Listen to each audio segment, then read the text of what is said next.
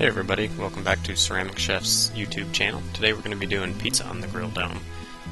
Uh, start off with, we're going to make the dough here. And this is a different recipe than I normally post on the Grill Dome forums. This one, the ingredients are a little easier to find and the dough is actually a little bit easier to work with. Um, I don't think the flavor's quite as good, um, but overall it's actually a great dough recipe, um, especially for your first time making pizza. I'm going to start out with 6 cups of frozen bread flour. And the flour doesn't actually freeze, obviously, but uh, put it in a container or something and stick it in the freezer for about an hour to get it good and cold. You'll notice throughout this recipe that it is always mentioning everything to be cold. This is a cold fermented pizza dough, so it doesn't have to rise or anything. Um, but if it gets too warm, then the yeast will activate and it'll, it'll ruin the recipe. So start out with everything cold.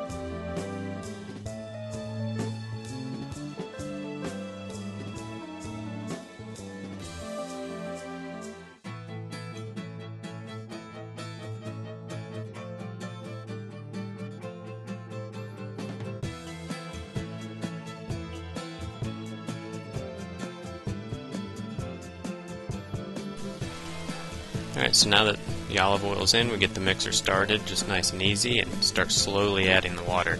You don't want to add the water too fast or else it can gum stuff up. Uh, so we'll just do a little bit at a time while the dough hooks going around mixing it all together.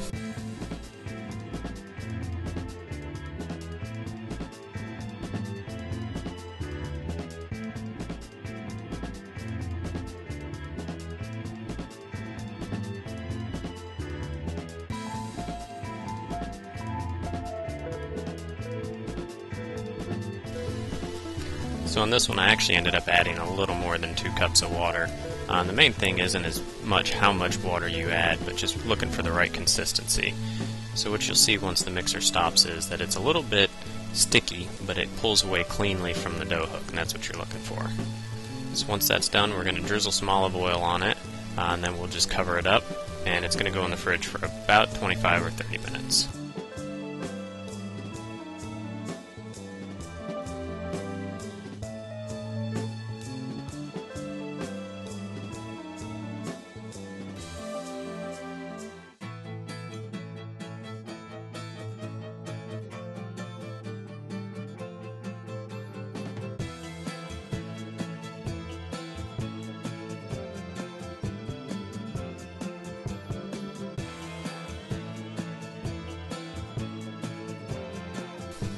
Alright, while the dough is getting cold, we'll get the grill ready.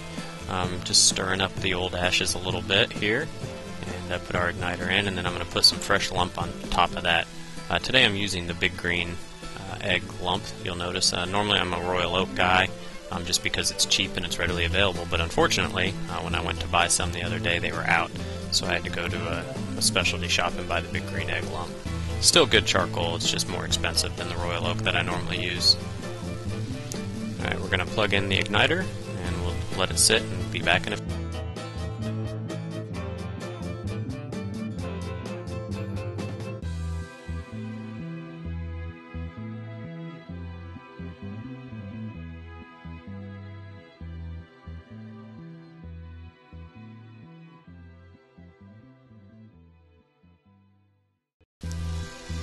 Alright, this is about six minutes later. You can see we've got a really good fire going.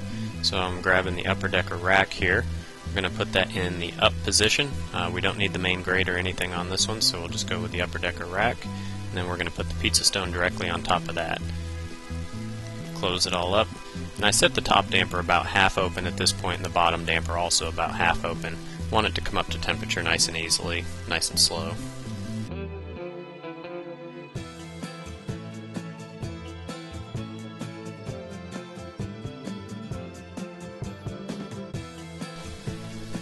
Back inside here, to get the pizza going. I'm going to start with parchment paper. This is something that I use all the time. I find this really makes it a lot easier. uh, to get your pizzas on and off the grill, which you'll see later. So we're going to spread that out on the cutting board uh, and then throw a piece of dough on there and get it rolled out.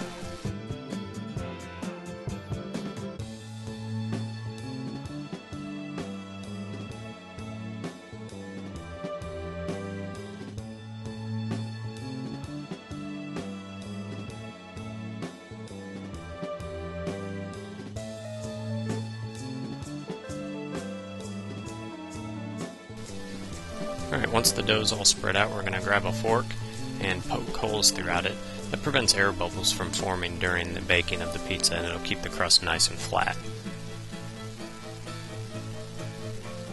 You don't have to get it real, real dense, but you know, just enough of them that uh, that air can escape if it does start to form. And then we're doing a white pizza here first, so the sauce is basically just going to be olive oil. We're going to spread that out, and then we're going to come back in with some finely chopped garlic and spread that around.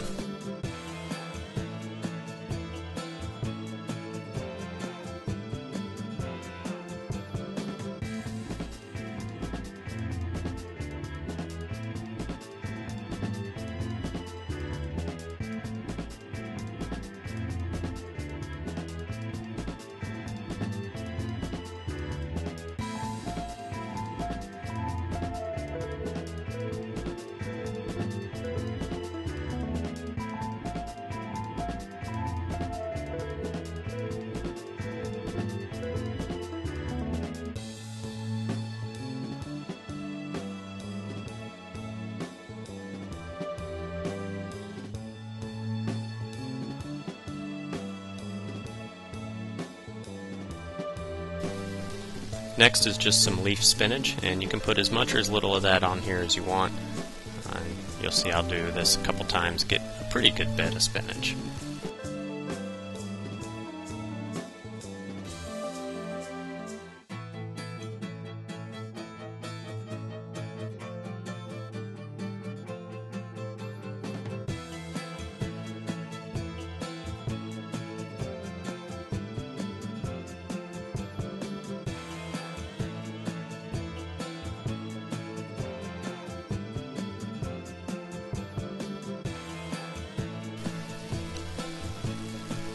Now I always do my cheeses last, so we're going to come in with some mozzarella here and put that on, and then a little bit of goat cheese, and that pretty much just seals everything in and helps the toppings stay on the pizza.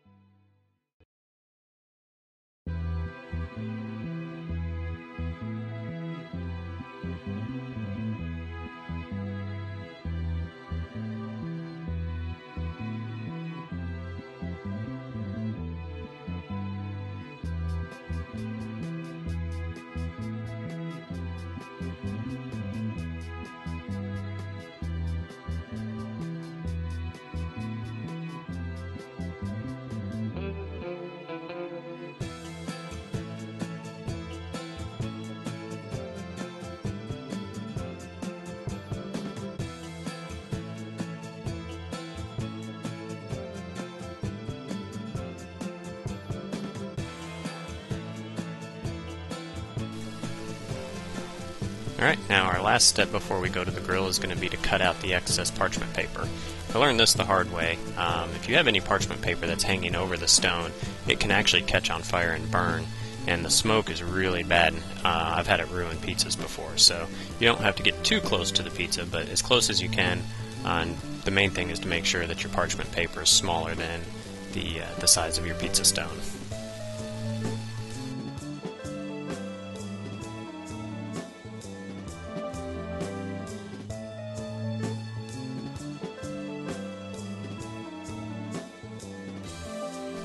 Alright, we're back outside. You can see at this point I've actually got the top vent opened all the way up, bottom vent's open to about three quarters, and that's what gets me that 550 uh, temperature I'm looking at. This one's a little hotter. We're almost to 600, um, but that should be fine. We're just going to keep a close eye on the pizza.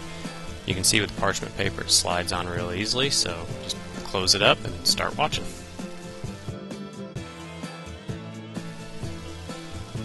So you see, looking through the top vent's a real good way to kind of spy on your pizza without opening the lid up. The cheese is melting real well, and uh, this one's about ready. So we're going to open it up and check the crust. Yeah, it's starting to brown pretty good. I think this needs about another minute or two. So we come back two minutes later, and we're ready to pull it off. I always pull it off on a wooden, wooden cutting board. Um, I've had plastic ones kind of warp on me a little bit, but uh, the wooden one works great.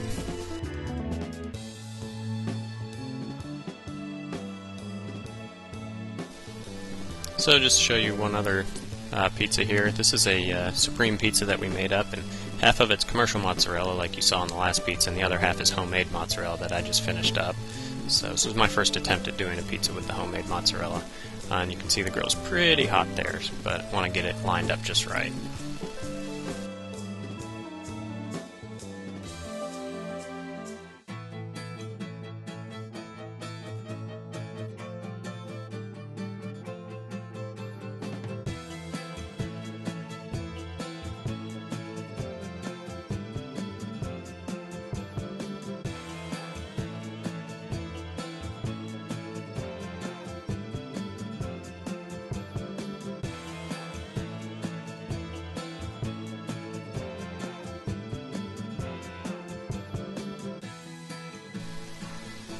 Alrighty, now this guy's ready to go too. You can see my homemade mozzarella didn't melt quite as well as I had wanted it to, but overall it still worked out pretty well.